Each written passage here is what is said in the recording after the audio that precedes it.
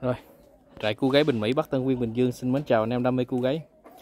Thì hôm nay à, được đơn sĩ của ông anh à, ở Bù Đăng ha. Anh Úc ở à, cây số 32 Đức Liễu Bù Đăng ha. Anh ủng hộ 21 con ha. Đó giờ em bắt chim gửi cho anh ha.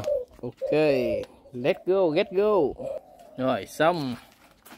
Đầu tiên là 8 con, con nào dây rút đen là trống nha đánh dấu ờ, khả năng trống để cho về theo dõi nha. Rồi sau ờ, một thời gian lăn lộn vật lộn thì cuối cùng cũng đã xong em nó ha. 21 con. Tính đơn sĩ 18 con thôi. Rồi ờ, tính còn giá rẻ nữa. Nói chung thì hốt mũi chót thôi. Còn à, xác định trong đây 21 con thì nó cũng cỡ được khoảng à, 8 9 con trống á. theo cảm giác tay của em thì em có đánh dấu rồi đó, thì à, chúc anh à, về thả vi và chia sẻ với ông anh thì nói chung cũng mềm thôi. Hai anh em chơi ha. Còn con à, đánh dấu trên đầu là ăn hơi yếu thôi còn lại là chim ok, khỏe mạnh hết. Đó, lâu lâu có đơn sĩ là em vẫn thoải mái giá cả với anh em ha. Đó. 21 con. Rồi, cảm ơn anh em đã xem clip nha. Hẹn anh em ở clip tiếp theo.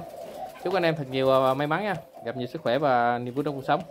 Hẹn anh em clip tiếp theo. Bye bye.